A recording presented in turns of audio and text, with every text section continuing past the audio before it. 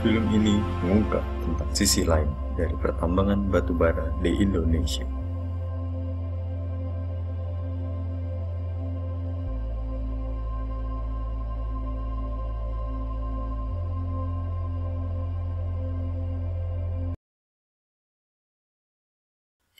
Film ini bercerita tentang perjalanan Dandi Wilaksono, si sutradara dan Ucok, mulai dari Jakarta terus keliling Indonesia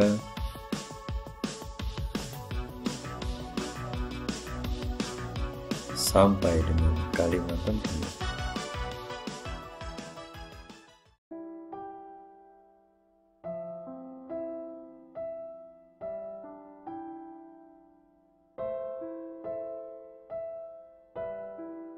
Tercatat sebanyak 31 orang yang mayoritas anak-anak meninggal dunia dalam kubangan galian tambang batubara. Kalau saya kayak yatim piatu tapi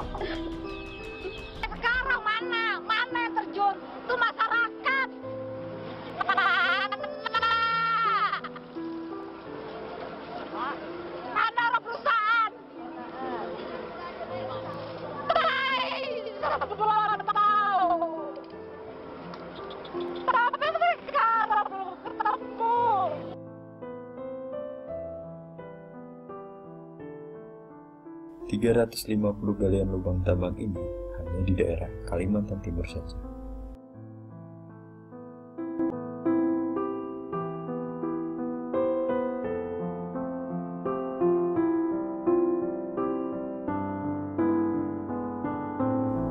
Dan ada 8 juta hektar galian lubang tambang yang belum ditutup atau direklamasi.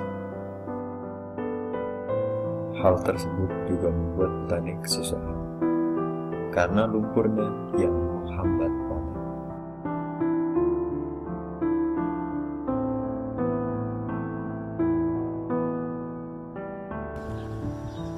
Semula ini adalah gunung yang mengalirkan air untuk sawah dan kebun komari serta para petani transmigran yang datang dari Jawa tahun 1970-an. Kini mereka hanya mengandalkan air hujan atau air bekas tambang yang membawa serta endapan lumpur. Dulu sebelum ada bangunan batu bara, sawah tidak rusak, tidak amburadul. Sekarang ada bangunan batu bara, rakyat kecil malah sengsara. Yang enak rakyat yang besar, ungkap kaki terima uang. Kalau kita terima apa? Terima imbasnya lumpur. Ari Wahyu Utomo, 13 tahun, adalah seorang pelajar MTS Al-Masyuri Tenggara. Merupakan salah satu dari korban yang tewas tenggelam di lubang galian tambang batu bara.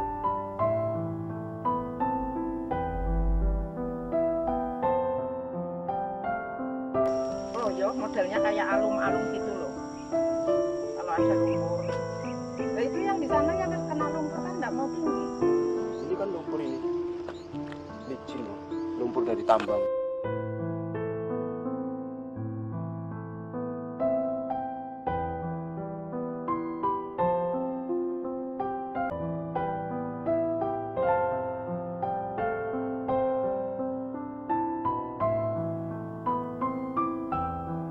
Maulana, Emma, Miftahul, Rahmadani, Koko Handoko, Aprilia adalah nama-nama korban yang tewas di galian lubang tambang batu bara.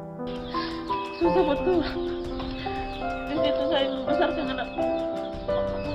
Susah betul.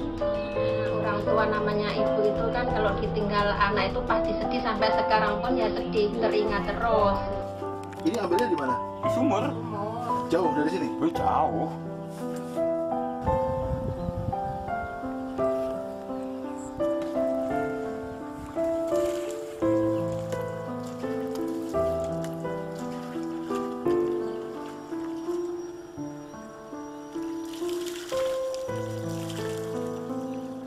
Dan di kampung ini, air bersih sudah lama jadi sejarah.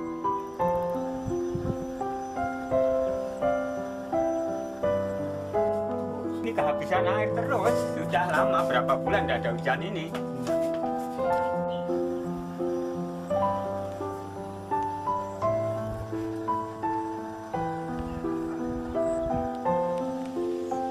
satunya bagi keluarga Komari.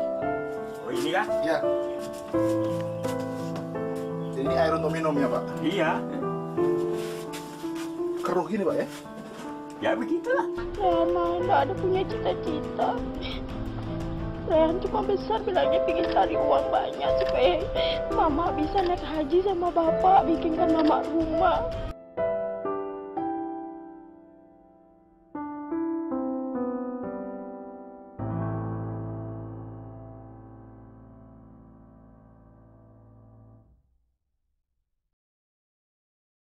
Saat ini diperkirakan terdapat 3.500 lubang bekas tambang.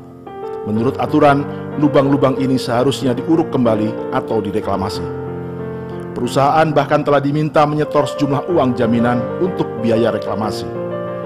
Namun, ini bukan semata tentang perusahaan yang melanggar aturan atau korupsi uang jaminan, melainkan aturan pasca penambangan sendiri yang juga bermasalah. Tetapi dijadikan tadi seperti reservoir air Simaklah jalannya rapat antara Komisi 7 DPR dan pejabat Kementerian Energi dan Sumber Daya Mineral, serta 290 pemilik tambang batubara ini. Bapak ndak usah cerita panjang-panjang sama saya. Cukup itu aja yang saya tanya. Tanah yang dikorek untuk mendapatkan batu bara, setelah batu baranya diambil, berapa tanah dikembalikan ke tambang tersebut? Itu aja. Nah, nanti soal benar atau tidak, biarkan Kementerian Lingkungan yang. Karena pasca tambang itu, saya lihat yang saya lihat setelah kami mengunjungin, hanya kubuangan air, hanya kesepakatan antara Pemda yang nanti dibilang akan dibuat taman rekreasi lah, tempat mandi-mandi hantu di sana. Saya nggak tahu.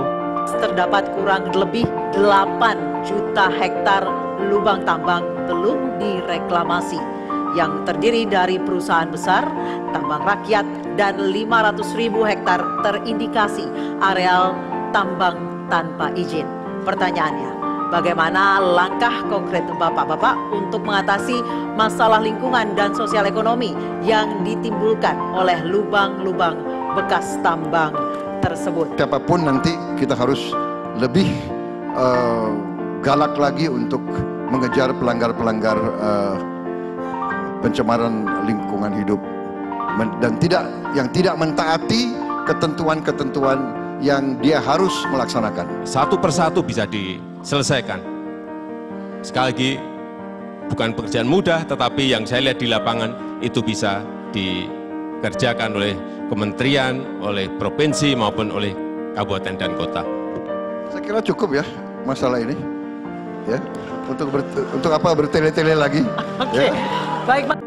Pada kenyataannya, siapa pun yang menang memimpin Indonesia, kerusakan, kericuhan,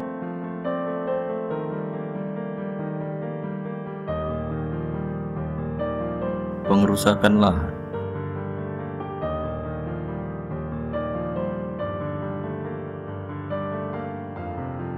polusi tambang,